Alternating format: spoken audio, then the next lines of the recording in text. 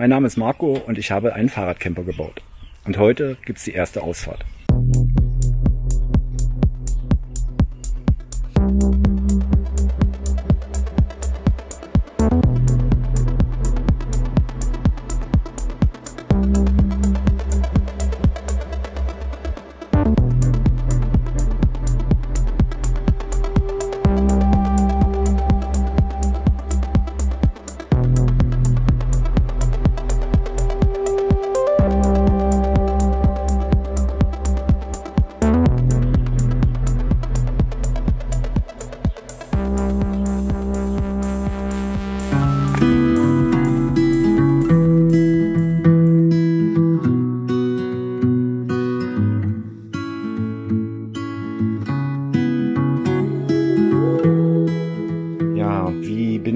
Idee gekommen, einen Fahrradcamper zu bauen. Also die Idee habe ich schon seit längerem gehabt. Bereits im Jahr 2017, 2018 bin ich auf einen Erfinder aufmerksam geworden über YouTube. Der hieß Paul Elkins aus den USA und der hat mit äh, einfachsten Mitteln versucht, einen Anhänger fürs Fahrrad zu bauen, in dem man eben auch übernachten konnte. Das hat sich dann später weiterentwickelt in äh, Fahrzeuge, wo äh, zum Beispiel auch Obdachlose drinnen schlafen können. Und diese Idee fand ich äh, sehr interessant. Das hat mich auch nicht wieder losgelassen und irgendwann habe ich mich dann hingesetzt und habe angefangen, selber Pläne zu zeichnen und kleine Modelle zu bauen. Habe dann aber nie richtig die Zeit gefunden, da wirklich mit dem Bau anzufangen. Und dann kam aber die ganze Corona-Pandemie wo man dann auch doch irgendwie unfreiwillig mehr Zeit hatte. Und das hat mir geholfen, äh, denn wirklich den Anfang zu machen und habe dann im Jahr 2020 im Sommer angefangen und war dann irgendwann jetzt im Winter, Frühjahr 2021 fertig. Und deshalb heute die erste Ausfahrt.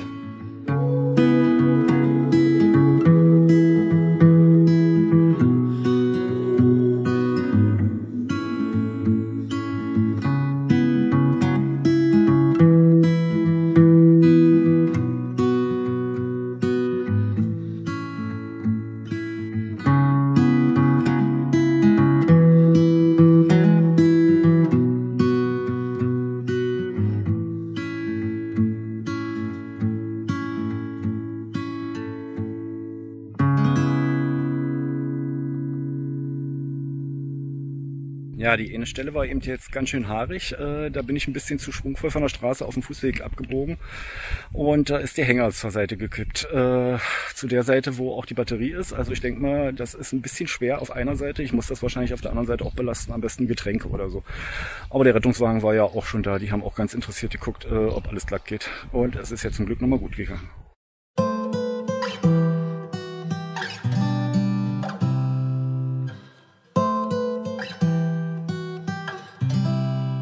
Was fasziniert mich da am meisten dran? Also am meisten fasziniert mich wirklich, dass man mit einem Fahrrad fast überall langfahren darf.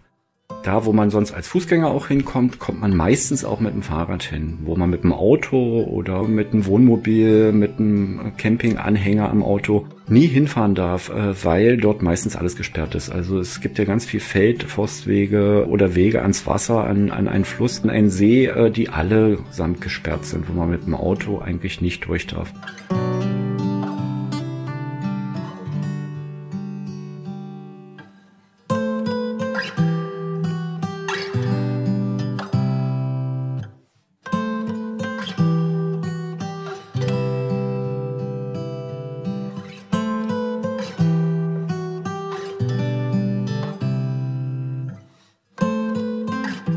Und das Faszinierende ist eben am Fahrrad, inklusive Fahrradanhänger, was es ja in dem Moment ist, dass man da überall durchfahren darf und äh, sich da auch in dem Moment zum Picknicken oder Biwacken oder wie auch immer aufhalten kann. Was also mit einem Wohnmobil kaum möglich ist, weil ich spreche da aus Erfahrung, wir wurden da auch schon des Öfteren irgendwo von der Polizei oder vom Ordnungsamt vorjagt.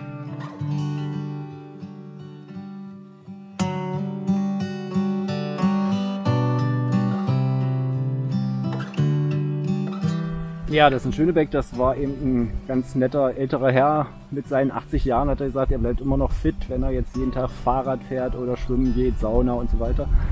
Und war ganz interessant, äh, er sprach mich erst an und hat gesagt, ey, ich kenne dich, äh, ich, du bist doch der René, wir haben uns doch neulich schon mal getroffen, äh, irgendwie am, an der Wasserstraße, oben am Wasserstraßenkreuz. Und dann habe ich gesagt, nein, René kenne ich zwar ein bisschen, aber René bin ich nicht. Aber es ist ein Kumpel von mir. Also hi René, falls du das jetzt siehst, Enduro René, auch aus Magdeburg. Ähm, ja, und das Ganze war eben in Schönebeck und das Interessante an der Sache war, wir haben über alte Lehrmeister und so weiter gesprochen, äh, weil er im gleichen Werk im Starkstromanlagenbau in Magdeburg damals gelernt hat und äh, auch gearbeitet hat und genau da war ich auch ist schon interessant, wie man so trifft. Und das war jetzt mal wieder so ungefähr eine halbe Stunde Gespräch. Ich hoffe, der nette Mann ist mit drauf. Und an dieser Stelle danke für das schöne Gespräch.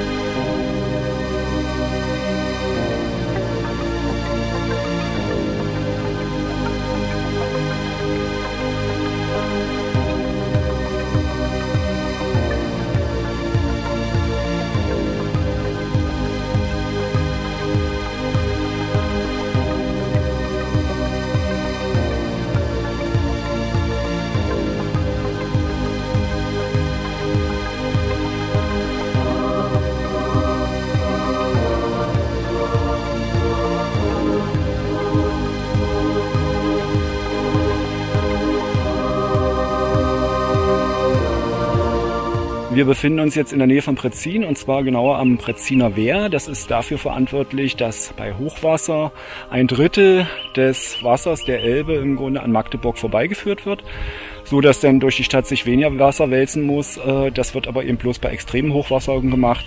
Ich glaube, es ist schon ein paar Jährchen her, wo das Tor das letzte Mal gezogen wurde.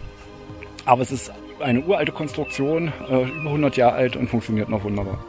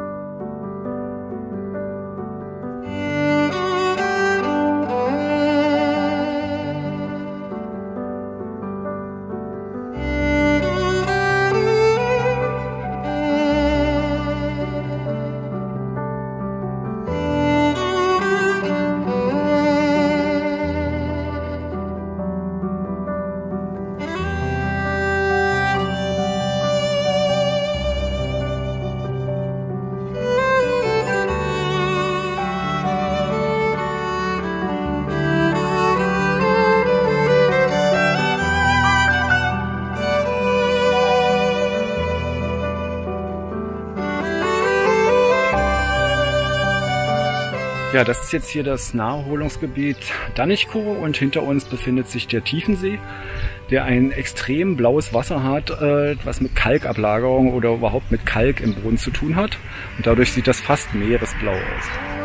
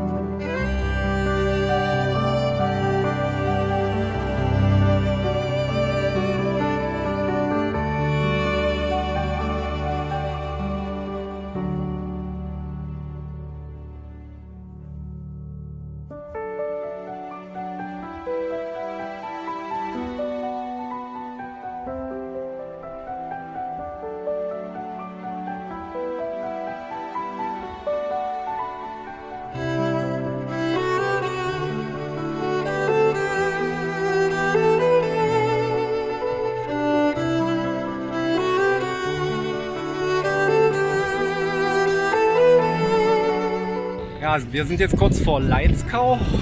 Das ist der letzte Ort vor Göbel, wo ich eigentlich hin will, weil da morgen Kleintiermarkt ist und ich dort eine Nacht übernachte. Ähm, es sind noch ungefähr fünf Kilometer bis Leitzkau und insgesamt dann nochmal vier Kilometer bis Göbel. Also neun Kilometer. Ja, es geht hier die ganze Zeit jetzt über den Acker und bergauf auf dem Feldweg lang. Und das ist schon ganz schön anstrengend jetzt, weil man da trotz Power auch ganz schön in die Pedale treten muss.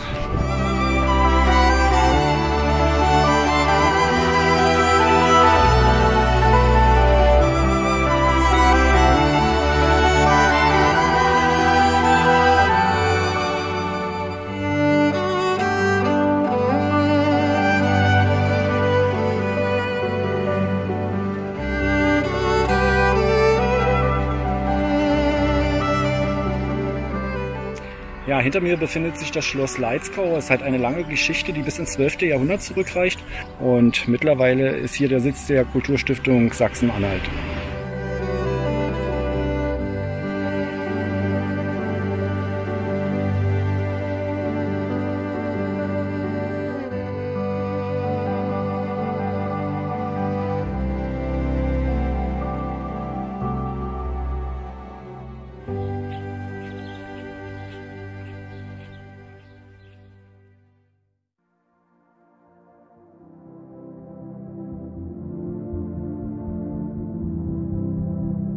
Das sieht ja ganz schön finster aus heute hier, das Wetter.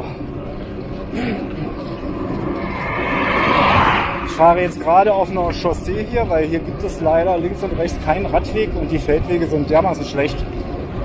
Das bringt überhaupt nichts, da lang zu fahren. Das sind die letzten zwei Kilometer jetzt. Ich muss mal aufpassen, dass mich hier keiner übersieht. Ja. Aber das Wetter ist eigentlich in der Hinsicht angenehm. Besser als wenn das jetzt Sonne so doll rauskommen würde, dass man hier sich gleich totschwitzt.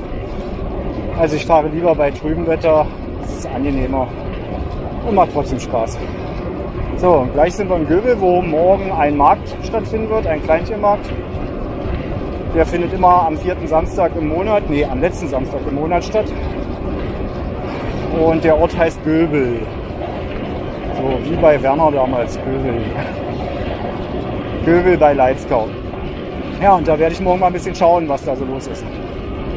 Das ist so mein Ziel heute, meiner kurzen Reise mit 35 Kilometern ungefähr. Okay, bis später.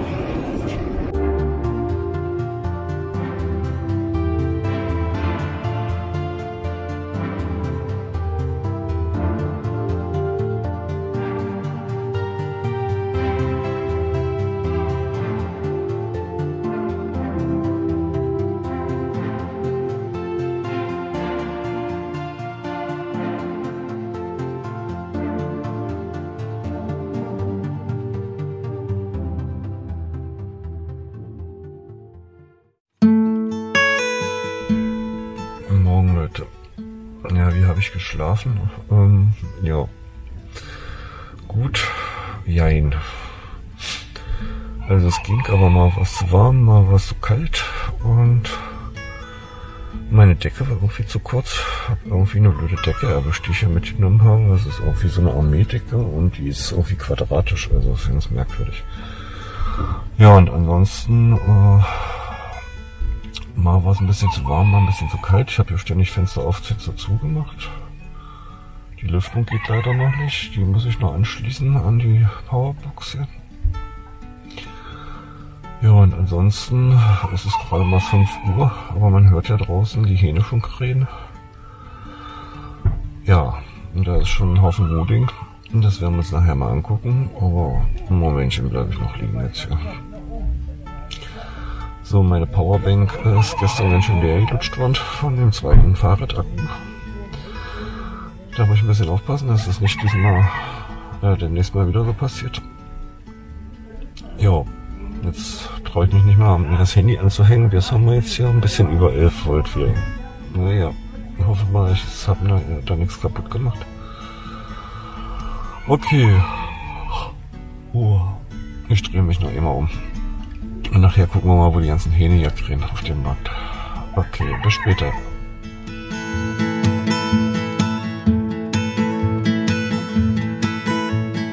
Ja, als Verdunklung habe ich hier mein T-Shirt noch vorgehangen, als es heute früh um 5 dann bereits wieder hell wurde hier. Mal gucken. So, ist auch wieder alles beschlagen. Ah ja, sieht man nicht viel. Ja, der Lärm wird hier immer lauter, also schlafen lässt sich hier nicht mehr. Ähm, Autos, die vorbeifahren auf dem Parkplatz, Hühner, die krähen, Leute, die sich unterhalten und das alles um 6.39 Uhr. Ja, wollen wir mal die Luke aufmachen.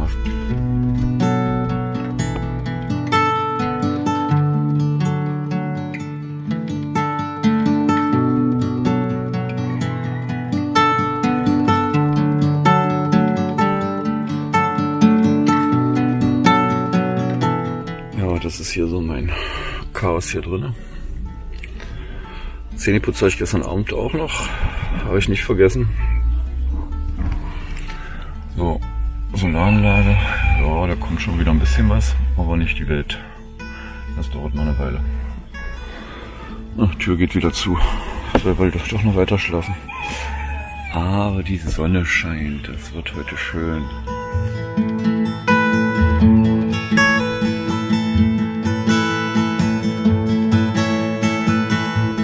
Ich sehe noch ganz schön verquollen aus hier.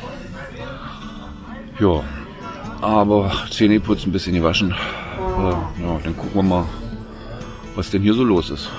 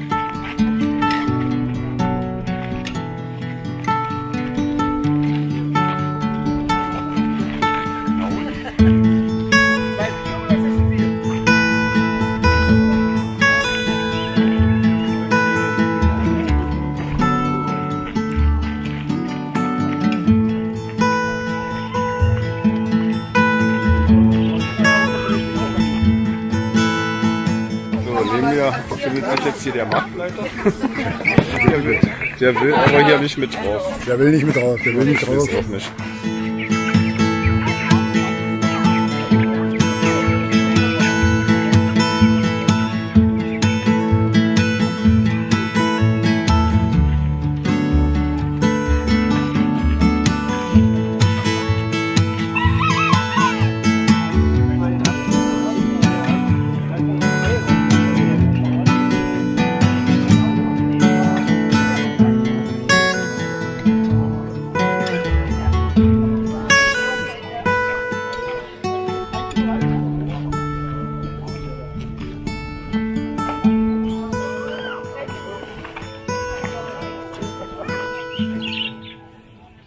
Ja, so muss das sein. Endlich mal Kaffee. Kaffee, endlich. Ah, Das tut gut.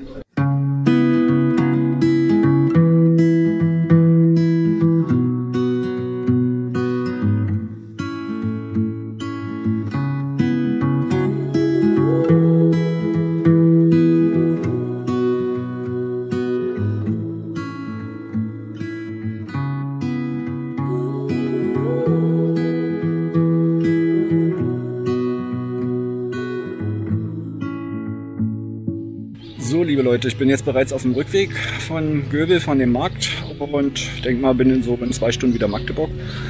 Ja, wir sehen uns beim nächsten Mal. Wenn ihr Interesse habt, bitte den Kanal abonnieren, die Glocke markieren, damit ihr immer auf dem neuesten Stand seid, was an neuen Videos kommt. Und demnächst wird es zwei Videos noch geben. Zum einen mal eine Roomtour vom Fahrradcamper und zum anderen, wie der ganze Bau vonstatten gegangen ist. Okay, ich hoffe, es hat euch gefallen und bis zum nächsten Mal. Ciao!